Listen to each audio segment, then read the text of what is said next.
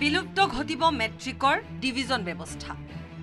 থাকিব কেৱল উত্তীৰ্ণ অনুত্তীৰ্ণৰ ব্যৱস্থা। ৰাজহুৱাকৈ প্ৰকাশ কৰা নহ'ব শিক্ষাৰ্থীয়ে লাভ কৰা নম্বৰ।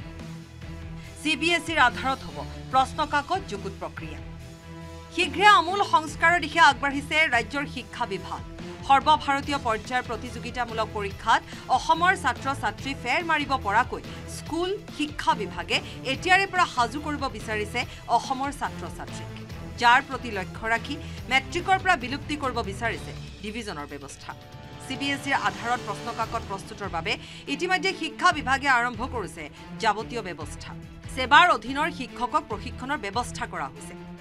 চি বি এছ ইৰ ডিভিজনৰ বিপৰীতে থাকিব উত্তীৰ্ণ অথবা অনুত্তীৰ্ণৰ ব্যৱস্থা।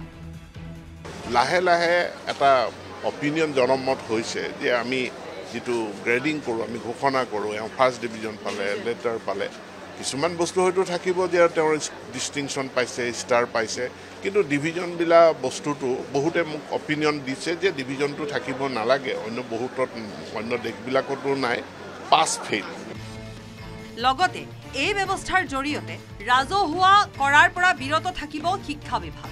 কাৰ্ড কপিৰ সলনি ফলাফল লাভ কৰাৰ পিছত ডিজি লকাৰত উপলব্ধ হ'ব প্ৰমাণ পত্ৰ শিক্ষা বিভাগে ল'বলগীয়া এই ব্যৱস্থা দুই এদিনৰ ভিতৰত ৰাজহুৱা কৰিব শিক্ষামন্ত্ৰী ডাঃ ৰণোজ পেগুৱে।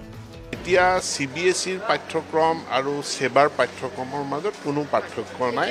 এইটো ছেম পাৰ্ট আৰু চি বি এছ ইৰ টিচিং মেনুৱেল মতে আমাৰ ছেকেণ্ডেৰীৰ শিক্ষক শিক্ষয়িত্ৰীসকলৰ প্ৰশিক্ষণ হৈ গৈছে। তৃতীয় কথাটো আহিল যে প্ৰশ্ন কাকত প্ৰশ্ন তেওঁলোকৰ ইভালুৱেশ্যন এইটো ছেম গতিকে এতিয়া আৰু ছেবা আৰু চি বি এছ ইৰ মাজত কোনো তেনেকৈ গুণগত পাৰ্থক্য নাই নাথাকে।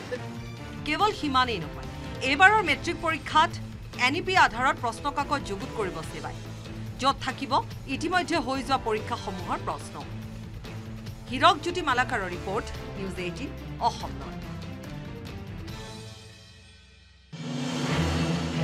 বিলুপ্ত ঘটিব মেট্ৰিকৰ ডিভিজন ব্যৱস্থা।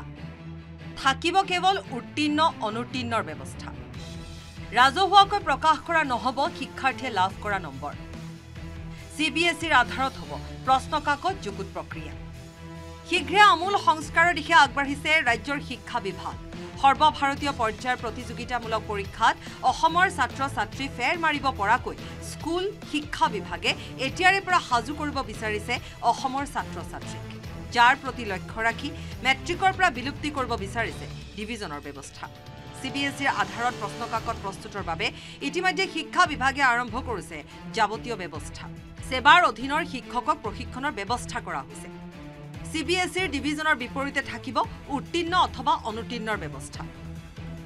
লাহে লাহে এটা অপিনিয়ন জনমত হৈছে যে আমি যিটো গ্ৰেডিং কৰোঁ আমি ঘোষণা কৰোঁ এওঁ ফাৰ্ষ্ট ডিভিজন পালে লেটাৰ পালে কিছুমান বস্তু হয়তো থাকিব যে তেওঁৰ ডিষ্টিংশ্যন পাইছে ষ্টাৰ পাইছে কিন্তু ডিভিজনবিলাক বস্তুটো বহুতে মোক অপিনিয়ন দিছে যে ডিভিজনটো থাকিব নালাগে অন্য বহুতত অন্য দেশবিলাকতো নাই পাছ ফেইল লগতে এই ব্যৱস্থাৰ জৰিয়তে ৰাজহুৱা কৰাৰ পৰা বিৰত থাকিব শিক্ষা বিভাগ।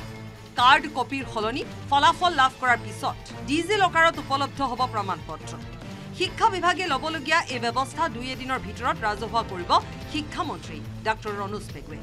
এতিয়া চি বি এছ ইৰ পাঠ্যক্ৰম আৰু ছেবাৰ পাঠ্যক্ৰমৰ মাজত কোনো পাৰ্থক্য নাই।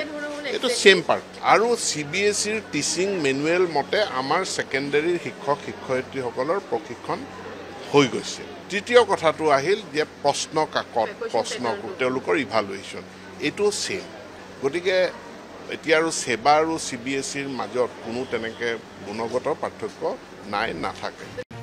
কেৱল সিমানেই নহয় এইবাৰৰ মেট্ৰিক পৰীক্ষাত এন ই পি আধাৰত প্ৰশ্নকাকত যুগুত কৰিব ছেবাই য'ত থাকিব ইতিমধ্যে হৈ যোৱা পৰীক্ষাসমূহৰ প্ৰশ্ন। হীৰকজ্যোতি মালাকাৰৰ ৰিপৰ্ট নিউজ এইটিন অসম নয়